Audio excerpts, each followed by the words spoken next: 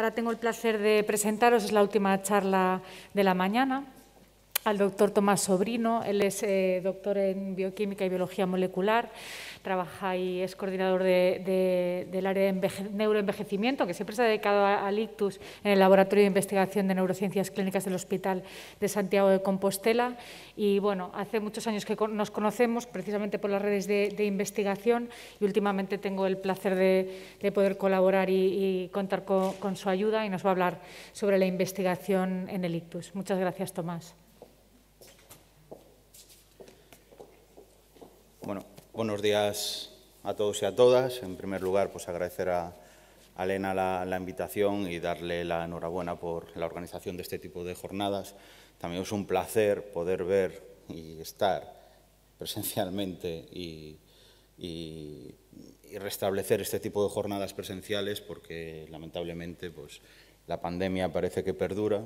Esperemos que se termine, estoy seguro que se termine y luego, primero que voy a decir, pues estamos ante otra pandemia, que son las enfermedades cerebrovasculares, y esa seguramente no sea una conjetura puntual, sino que vaya a ser una conjetura que vaya a perdurar y a medida que vamos envejeciendo y la población mundial es más envejecida, pues este problema, esta pandemia sí que estará, se notará y habrá que hacer. Eh, entonces, eh, bueno, lo primero que tengo que darle también es las gracias a Elena por ponerme el título de esta, de esta ponencia de investigación y tus caminos recorridos y camino por recorrer. Bueno, yo me voy a mis principios, yo empecé en esto en el 2004, entonces aún no llevo 20 años, pero bueno, como había ya hablado esta, esta mañana la doctora Castellanos, los primeros ensayos clínicos bueno, de reperfusión y demás fueron en el 95, pero donde de verdad se empezaron a instaurar y todas las unidades de hitos y demás, pues empezaron cuando yo empecé en esto de, la investigación en, hitos. Y en, 20, años la primera conclusión es que se ha recorrido mucho camino, pero creo que todavía queda mucho más por, por recorrer. Entonces, me ha permitido hacer una visión clínica, clínica no crítica, perdón, yo soy como dijo Elena, doctor en bioquímica y biología molecular, pero sí que fui creado ante clínicos y me dio una visión crítica de lo que hemos hecho y lo que queda y sobre todo pues voy a ser un poco provocador para incidir en que posiblemente estemos, y ya lo digo ahora mismo, influenciados en la investigación por las necesidades del mercado y no por las necesidades del paciente. Entonces, esa es la primera crítica que voy a hacer y toda mi presentación va a ser en base, en base a eso. Con esto ya, ya he ganado ahí una provocación ahí para, para coger. Entonces, yo desde el punto de vista científico, las cifras que pongo aquí son eh, número de publicaciones, no son número de pacientes. ¿vale? entonces, normalmente cuando yo me presento como evaluador o como científico, por el primero estudio y veo cuáles son las tendencias de investigación y cuáles son las publicaciones y cómo vamos. Pues aquí, viendo la evolución de las publicaciones en los últimos 10 años eh, por ejemplo, en ITUS, comparado con cáncer, y miramos la pendiente, pues la investigación ITUS parece más pujante que, por ejemplo, en cáncer. Primera reflexión, no sé si sabéis, pero en este año se ha aprobado el nuevo programa Horizon Europe, que es el programa que financia mayoritariamente toda la investigación en Europa, y se han creado cinco pilares. Uno de esos principales que reciben fondos estructurales. Uno de ellos es la digitalización, otro es lo de ir a lo verde, otro es, eh, otro es eh, em, todo lo que es eh, comunicaciones y, y, demás, y uno de ellos, no me acuerdo cuál es el cuarto, pero uno de ellos es cáncer. Cáncer. Y, hombre, yo creo que las cifras que voy a poner ahora a continuación Creo que el cáncer evidentemente es importante, pero las enfermedades neurológicas en general y las cerebrovasculares en particular, pues creo que deberían de también ser un pilar dentro de la Comunidad Económica Europea, dentro de la Comisión, y ahí creo que juega más un papel, por ejemplo, la ESO, de pujar y estar más en este tipo de decisiones. Eh, y que ya dentro del ictus y haciendo la división burda de hitos isquémico con hemorragia intracerebral, pues vemos que el hitos isquémico es el, que, el pujante en esto pero en la hemorragia intracerebral hay una meseta. Y lo acaba de decir el doctor Martí Fábregas hace un momento. Nos estamos olvidando de la investigación en hemorragias. Nos estamos olvidando de la hemorragia. Y eso, mm, evidentemente, es un problema para el paciente con una hemorragia intracerebral, pero es un problema también para el sistema.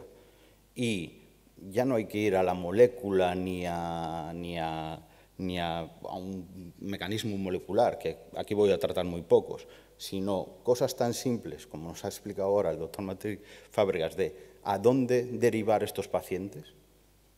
Eso es investigación simple, pero es la investigación que se necesita. Y este es un problema muy, muy gordo y los datos bibliométricos lo dicen. Hay una meseta en la investigación hemorragia intracerebral y la primera crítica de cuestión es que, por ejemplo, las autoridades de investigación de este país o de las comunidades autónomas, en mi opinión, deberían dejar un porcentaje de investigación hemorragia intracerebral para financiarla y para no dejarla olvidarla, porque al final la siguiente va a ser más demoledora, pero bueno, antes de, de eso digo, ¿Por qué lo del cáncer y no de itus? Pues los datos de, mortalidad pues nos, dicen que las enfermedades cerebrovasculares son la segunda causa de muerte global en Europa, España o Europa, pero es que es la primera causa de discapacidad. Entonces, no entiendo cómo en Europa hayan priorizado cáncer como un pilar de investigación y no, por ejemplo, las enfermedades cerebrovasculares, que son la primera causa de discapacidad y dentro de las neurológicas, pues eh, evidentemente también es el, el, itus. Aquí, por ejemplo, en esta gráfica, la línea azul de discapacidad, es el, eh, el, itus, comparado con la roja, que son otras enfermedades crónicas, o la verde, que son los, los, tumores o cáncer, o la morada, que son lesiones o defectos permanentes por un accidente. Entonces, eso es, es importante. No me avanza ahora y, sobre todo, son que conllevan muchos años de vida perdidos por discapacidad. Y eso es irrecuperable. Y eso se mantiene en el tiempo, porque hemos mejorado, y lo veremos ahora, en muchas terapias, sobre todo en el manejo agudo del litus y sobre todo del litus isquémico mediante la reperfusión, pero más de la mitad de los pacientes que sufren una enfermedad cerebrovascular son dependientes. Entonces, pues la respuesta de que hemos recorrido mucho, pero que queda por recorrer en investigación, pues yo diría todo. Porque aún por encima de los pacientes que se recanalizan por reperfusión, la mitad de la, aunque haya una recanalización total, el 50% de los pacientes que recanalizan tienen mal pronóstico. Entonces, no es todo también recanalización. Ya dije que voy a ser provocador y, sobre todo, para incidir en que hay que abrir más el tema de la, investigación. Y al final esta es una de las frases. Es decir, la tendencia de la investigación en el ITUS, a mi opinión, y después de analizar esto, es que no está influenciada directamente por la necesidad de los pacientes, sino por el oportunismo del mercado. Y es así de heavy, pero es así, los datos son así. Eh, hay una pujanza en el tratamiento del ITUS, evidentemente, en publicaciones a lo largo de los años. La neuroprotección sigue, pero muy poco, es decir, la neuroprotección se ha abandonado todo lo que son las líneas, cuando en principio, a principios de la década y antes, en la primera década, era todo se buscaba un fármaco neuroprotector y todos los ensayos clínicos iban enfocados ahí. Y esto es de verdad lo que se está derivando ahora, en los últimos años. Parece que todo en el itus sea reperfusión y sea reperfusión a través de trombectomía y TPA. Y lo comentaba antes la, doctora Castellanos y seguramente ayer lo habías comentado. Eh, hay cuestiones también básicas y, la doctora López Cancio también lo, ha comentado, como con un estudio que salió en el Neurology publicado este año, a principios, a finales del año pasado y demás, hay cuestiones dentro de la reperfusión con trombectomía mecánica o con RTPA, como es mejor darle RTPA antes de la trombectomía o ya ir directamente a trombectomía. Pues eso es investigación y todavía no se ha eh, eh, realizado. Y todo va a trombectomía. Y eh, es las tendencias, no lo digo yo, es la tendencia y, se están, y se están haciendo eh, así. Pero dentro de la trombectomía todos vemos, y más los que sois clínicos y neurólogos, que estos pacientes que recanalizan, como dije antes, eh, no todos se recuperan, a pesar de que haya recanalización, a pesar de que le hayamos pasado un rápido otro método de, de imagen para localizar que todavía había tejido rescatable, pues la primera cuestión o la investigación en ese punto puede ser, vamos a recuperar la neuroprotección con estos pacientes, o el daño por reperfusión, o vámonos un poco más atrás y tampoco nos limitemos a identificar por técnicas de neuroimagen únicamente el tejido eh, salvable, sino, por ejemplo, y sé que aquí en Asturias lo estáis haciendo, en otros grupos de, España, dentro de la RICORS, por ejemplo, el nivel de colaterales de ese paciente, ver el estado global de, por ejemplo, la, disfunción de barrera de ese paciente para que después tenga problemas, por ejemplo, cuando se da un tratamiento trombólítico con transformación hemorrágica, aunque cada vez se ve que la transformación hemorrágica es menor en estos pacientes, pero sí que eso está, eso mejora, pero tendremos que ir un poco más en, el avance y eso lo desgranaré a lo largo de, mi charla. Y pues, pues comparando, es importante comparándose con lo, con lo demás. Y, por ejemplo, la pujanza en enfermedad de Alzheimer. O la pujanza de que está hoy, y, es muy bien lo que está muy de moda, con la ELA o con el glioblastoma multiforme, por ir a otro, a otro, otro, otro tema. Eh, con esto, a lo que quiero decir y únicamente incidir es que las enfermedades neurológicas deben de considerarse un pilar.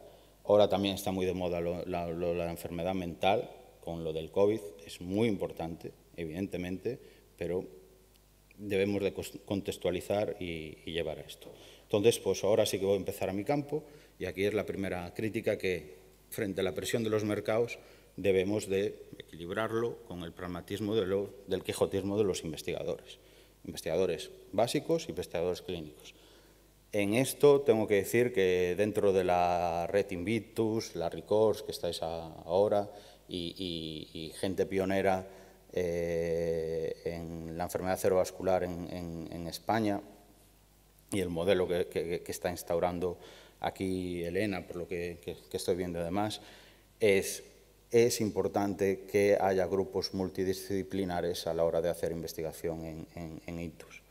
En Santiago lo comenzó el profesor Castillo, profesor Dávalos en Girona, después en Canruti, el eh, doctor Joan Martí en, en San Pau, la doctora Mar Castellanos ahora en Coruña, la doctora Lope Cancio ahora aquí, ese modelo debe de seguir.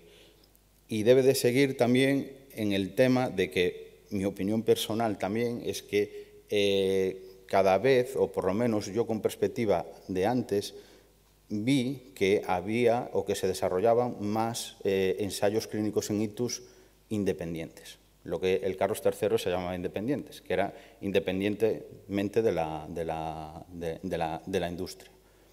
Es decir, hay cuestiones básicas, como las que habíamos comentado y que se han comentado por, por, mis antecedentes, que es investigación clínica pura y que se debe realizar con programas de, investigación.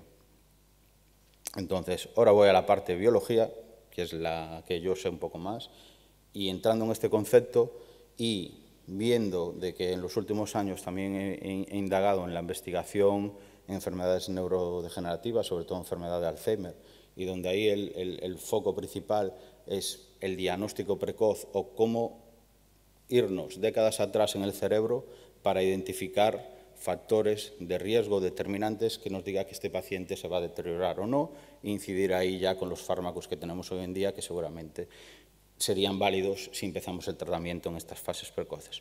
Pues para mí, el litus debe considerarse igual. Al final la investigación está centrada aquí. Y para mí este es todo el episodio de la enfermedad cerebrovascular. Hay una fase que se puede determinar premórbida, otra mórbida, que es la que al final vaya a desencadenar esto, pero toda la investigación hoy en día se está centrando en este episodio que es el importante, que es el catastrófico, pero que es agudo. Y esta toda sección en la investigación hoy en día está muy olvidada, muy olvidada. Y está también, es, decir, que está también muy en la mano de la atención primaria. Y la, eh, se debe potenciar la investigación, entre comillas, se entiende todo, todo lo que, tiene la, la atención primaria en este país, pero si queremos hacer un abordaje global, sobre todo de prevención primaria en, en, ictus, debemos irnos a estas fases. Indicaré ahí eh, algunos. Hoy en día está aquí, que también lo hablaré, y después lo que se está también potenciando últimamente es todo la investigación la fase positus, con lo que es posible terapia celular, rehabilitación y demás. Entonces, este es el, mapa que voy a, desengranar, empezando por la fase premórbida, fase mórbida, ictus y eh, positus.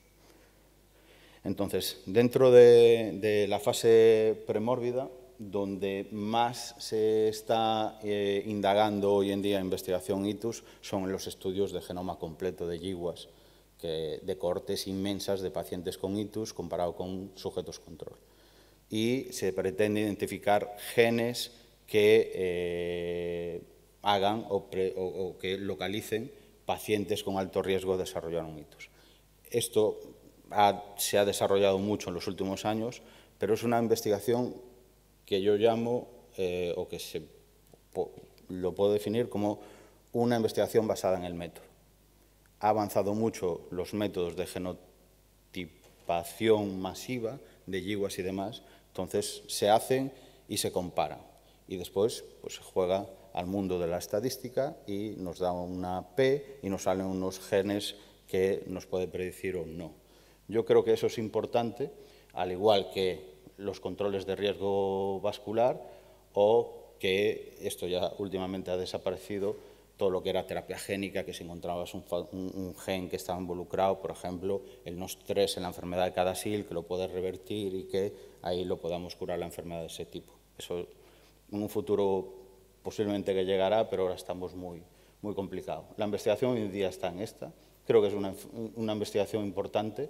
Los factores de riesgo vascular están mm, también muy, muy bien, pero hay otros eh, factores que, por ejemplo, se están eh, derivando mucho, sobre todo políticas eh, sanitarias, como es la, alimentación, vida saludable, envejecimiento activo, ejercicio físico y demás. En este sentido, pues aquí en el, UCA, bajo la dirección de, Elena López Cancio, de la doctora López Cancio, pues es referencia nacional e internacional en todo lo que es ejercicio eh, físico, dieta y demás. Y tengo la fortuna, por ejemplo, en mi grupo participar en este proyecto y en esta línea de investigación que están eh, derivando.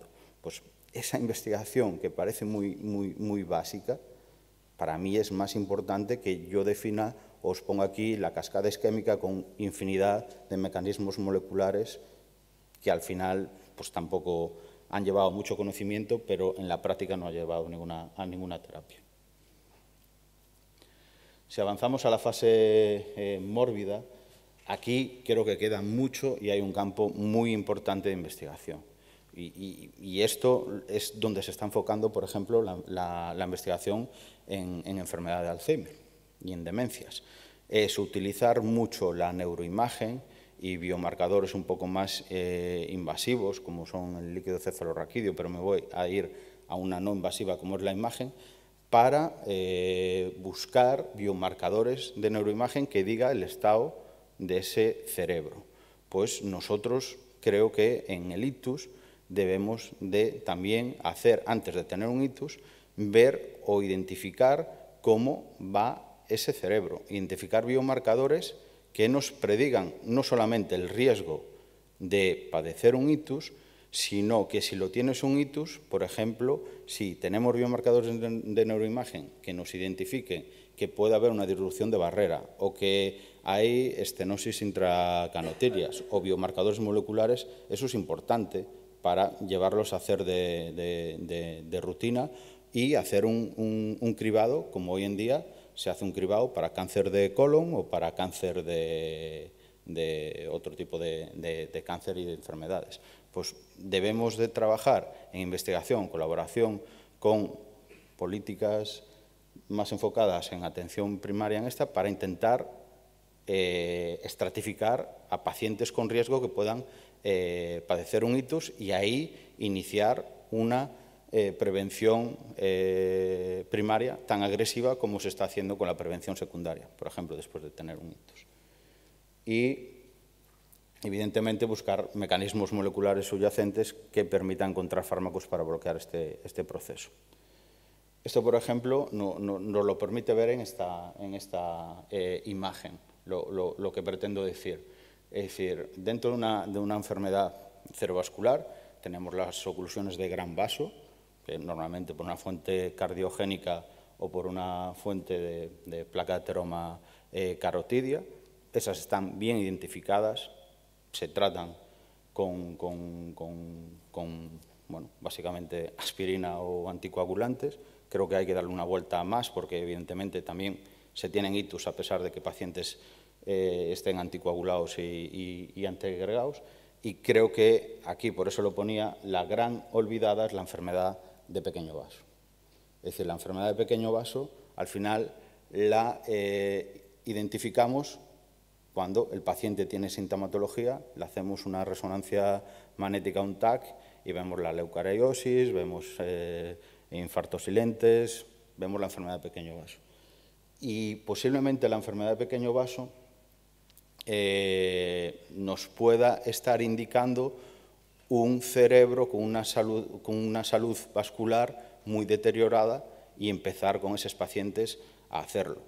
Posiblemente, evidentemente, no sé cómo, cómo, hay, pero sí que hay iniciativas. En, Santiago se hizo el estudio Santiago que había coordinado mi, mi, compañero eh, Miguel Blanco, en el que eh, se, se había estudiado longitudinalmente pacientes mayores de 50 años con factores de riesgo eh, vascular eh, importantes. Y era seguirlos evolutivamente para ver si eh, encontrábamos biomarcadores bien periféricos o de neuroimagen que nos fuera evidenciando pues, cómo se iba deteriorando este paciente a nivel vascular y, y, al final pues, poder tener esa línea. Eso es lo que se está haciendo en enfermedades eh, neurodegenerativas, hacer biobancos longitudinales muy importantes, pues creo que esto también se debería de hacer una, investigación a nivel no sé, de SEN, de, de, la red de ITUS y demás, de seguir a estos pacientes, de hacer un Framingham de ITUS y con resonancias eh, periódicas o TACs periódicos, eh, extracción de muestras sanguíneas, y ver cómo evolucionan esos, pacientes a lo largo del tiempo. Y, eh, por supuesto, investigar en mecanismos o, en... Eh, aquí he puesto nano, nanopartículas, porque son vehículos que, que, hablaré que permiten entrar en barrera hematoencefálica. Al final es, una vez que identifiques esos biomarcadores, buscar sondas de imagen o biomarcadores periféricos que te permitan hacer un escalado.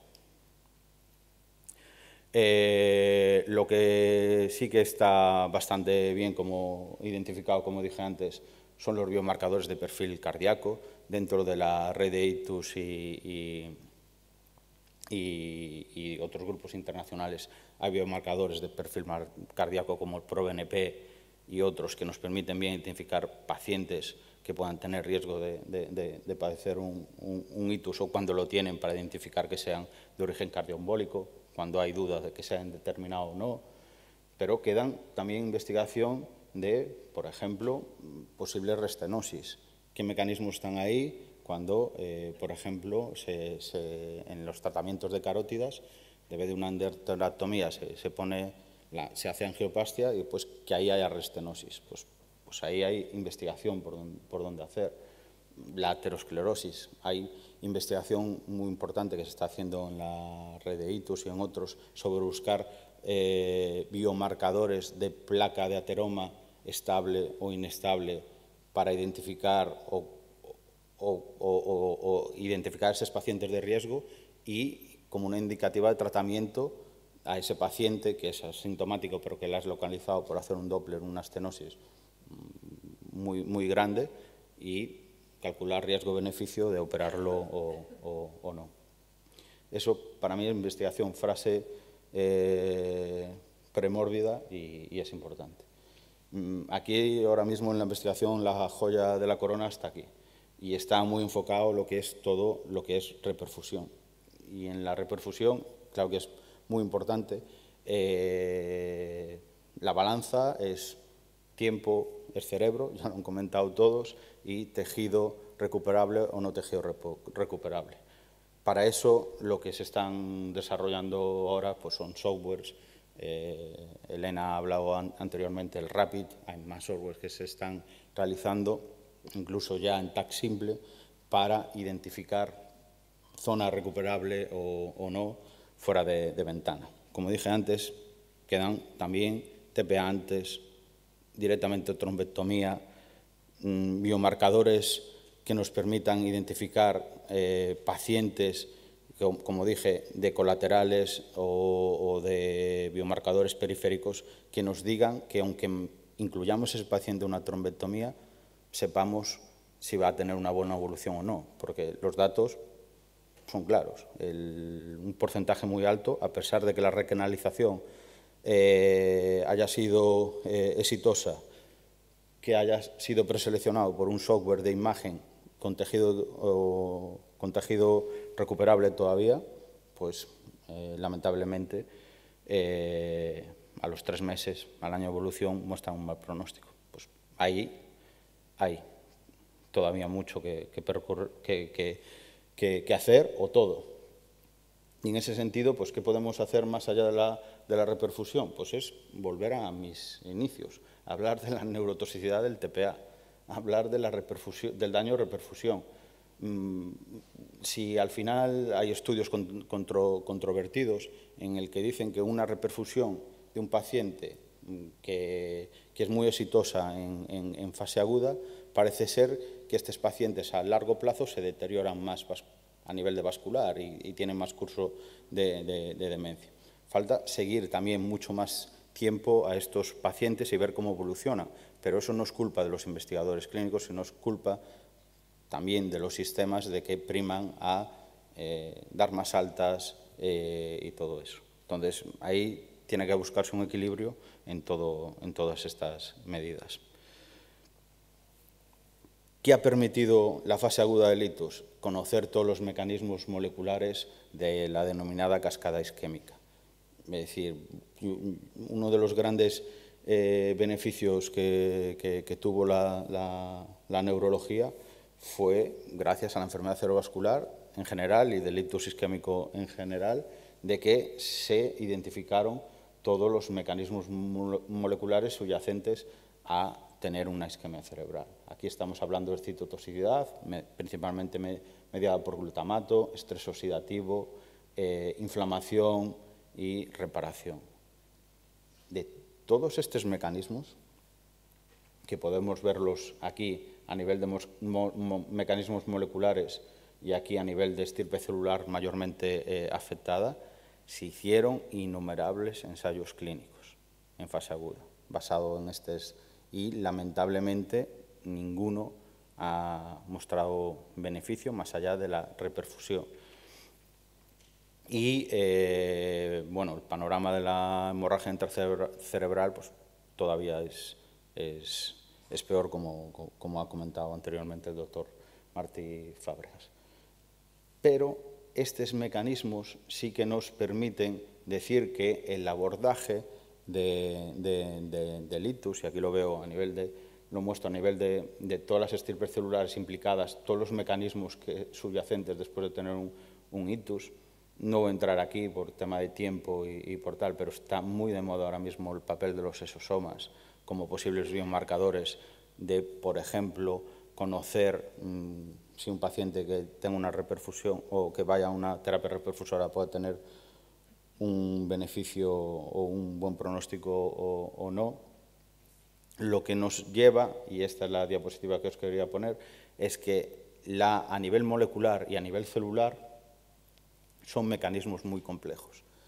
Y a los mecanismos muy complejos no podemos darle respuesta con una respuesta muy simple. Por ejemplo, es lo que se ha denominado muchas, muchas veces el, efecto eh, ducha. Hubo muchísimos ensayos clínicos con antagonistas de, de receptores de glutamato y han fracasado, unos por efectos secundarios y otros por falta de efectividad. Claro que es importante la citotoxicidad por glutamato, pero hay otros como el estrés oxidativo, hay otros como la inflamación, hay otros como la activación microglial.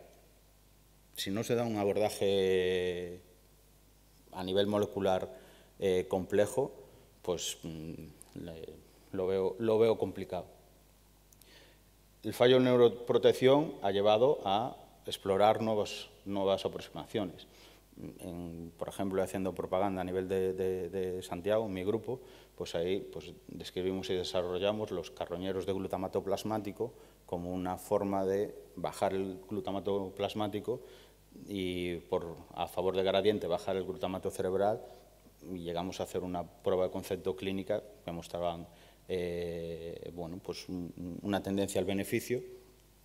Sin embargo, ese, ese Graver era una vitamina, pues, tampoco comercialmente era muy apetecible, eh, por las casas eh, eh, comerciales y entonces la línea se paró ahí. Es otra crítica. Desarrollar y ahí la investigación pública debe, incidir. Y gracias al fallo de la neuroprotección se ha desarrollado todo lo que es terapia celular y, y combinar este tipo de tratamientos con rehabilitación y demás. Pero estoy seguro que al final se va a derivar a un a una búsqueda de una, de una terapia personalizada al paciente con, con, ictus. Y de hecho, yo creo que ya se está realizando hoy, hoy en día. Cuando un paciente llega a, se ha hablado del código ictus, del traslado, ya aquí en el, en el UCA, que queda impresionado con los, con los niveles de reperfusión que, que hacéis, la primera comunidad de, de España, es decir, prácticamente más del 25, casi 30% de pacientes eh, que, sean reprofundidos. Es, es, alucinante. Y, al final, ¿cómo lo haces? La selección de pacientes hoy en día se está haciendo principalmente por biomarcadores de neuroimagen y se está avanzando mucho, mucho en, ese, en ese sistema.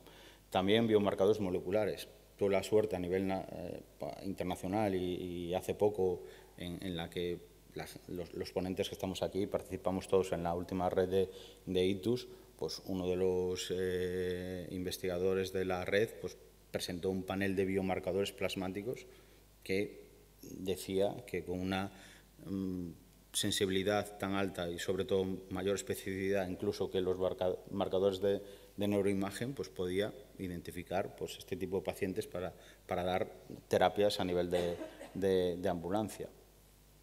Lo que decía, yo creo que se debe de incentivar o, debemos eh, derivarnos a un, eh, sé que es ambicioso, los recursos son los que son, pero una especie de identificación de pacientes. Sabemos que el ictus es dependiente de la edad, sabemos factores de riesgo, debemos de eh, hacer screening, ya sea por un TAC, una resonancia, para identificar o por biomarcadores plasmáticos tipo ProBNP de perfil cardíaco y tal, identificar pacientes con riesgo de padecer un ictus y eh, empezar ahí la, prevención primaria más, más, más agresiva, buscador, buscar marcadores de disfunción de, barrera hematoencefálica, lo que sería el estado del, del endotelio del, del cerebro y al final estoy seguro que las nanosondas, por la complejidad de cruzar la barrera mantocefálica será un elemento del futuro que, se utilizará.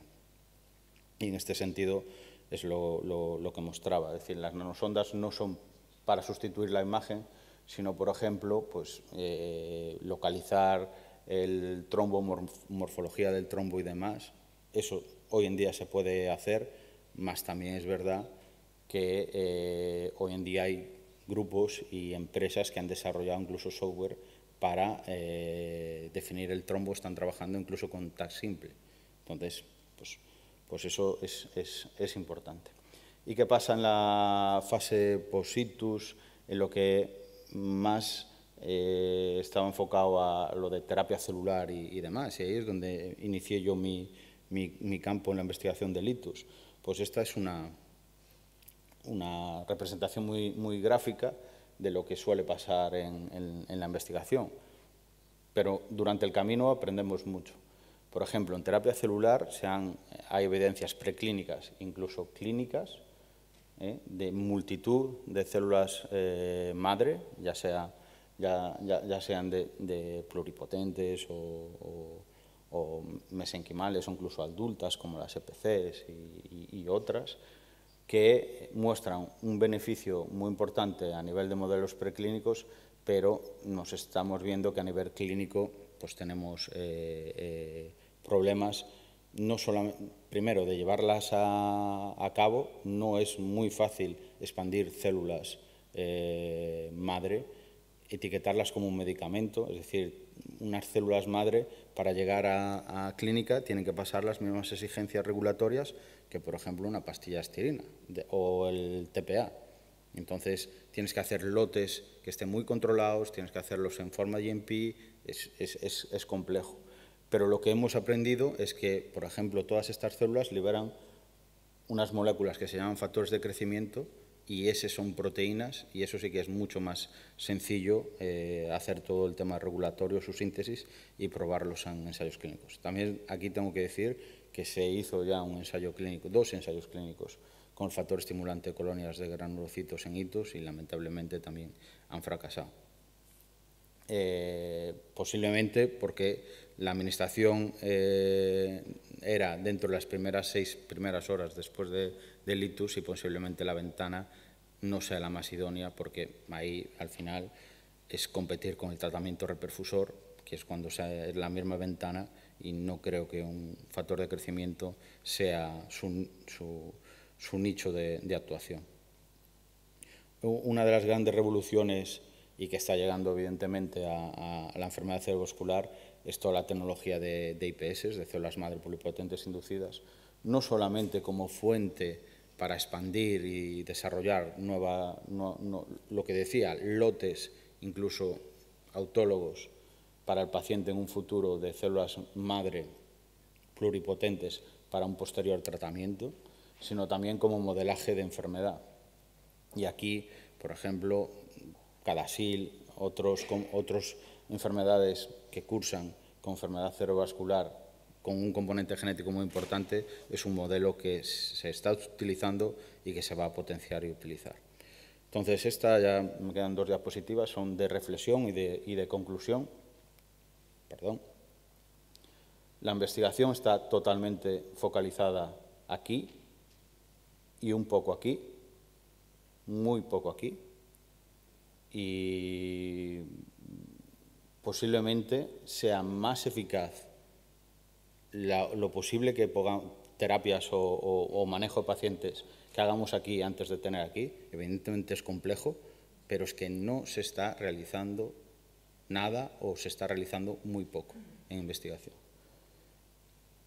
Es más aplicable, tienes más ventana, aplicable también es aquí, pero lo que estamos viendo es que en la fase aguda, cuando ya el paciente tiene litus, estamos avanzando mucho, ya pues, que todo lo que se está haciendo hoy en día de terapias reperfusoras y demás, hemorragia es otro mundo, pero en hitos isquémicos se ha avanzado la, de Dios, pero la efectividad o el rendimiento sigue siendo escaso y muchos de nuestros pacientes pues siguen siendo dependientes.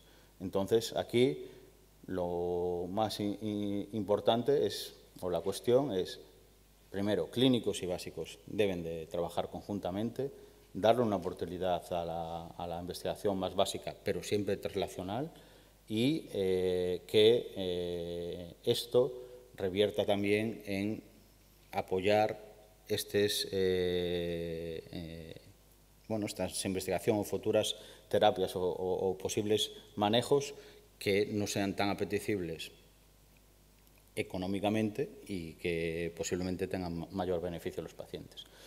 Eh, nada, agradecer.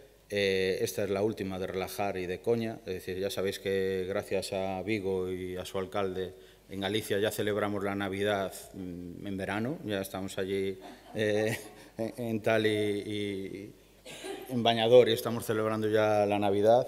Pues nada, agradeceros, aprovechar, venir por Vigo, está bien, las lucecillas y tal, pero, pero bueno, muchas gracias, un placer y espero que os haya sido de utilidad.